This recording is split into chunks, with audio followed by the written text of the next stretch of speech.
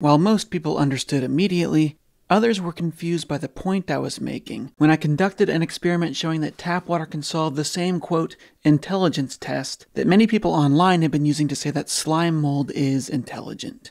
Some have accused me of the false equivalency of fallacy. They seem to think my claim is that slime mold is no more interesting than tap water, or that the way slime mold and water solve the maze is identical. No, that is not what I'm saying. That's not what I'm doing here. All I've done here is I've created a very simple, very basic control to test whether or not the test, the maze, is actually a good test on its own of intelligence in science, whenever we do an experiment, we, we like to have controls. We do the same experiment, but we tweak a couple of things or just one thing to make sure that we're actually testing for the thing that we think we're testing for. Let's say that you're developing a pregnancy test. If you test it out on a bunch of women and it comes back positive that they're pregnant, you're going to want to also test it on people you know are not pregnant. So you might test it on women you know are not pregnant, or you might test it on men, right? Men can also pee on the pregnancy test and see if they're pregnant or not. And if you get false positives, a lot of false positives,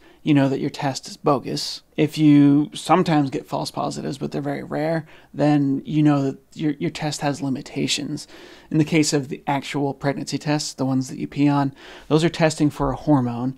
Uh, human chorionic gonadotropin. That hormone is produced by the embryo as it's implanting, and that's how you can tell if you're pregnant because your body doesn't produce that normally. But it, it also is produced by certain cancers. So, control studies, they're very common, they're very important in science, and all I've done is I've created a control study. Is this test actually testing for intelligence? Well, we can find something that we know is obviously not intelligent. Tap water is obviously not intelligent. Alex from the Skeptics Club in Montreal. If tap water can solve this maze, can find the shortest path through this maze, then surely this is not an accurate test for testing intelligence. The fact that tap water solves this test does not mean that cells are not amazing. It does not mean that slime mold is not amazing. It does not mean that slime mold is not extremely competent. In fact, it doesn't even mean that slime mold is not intelligent.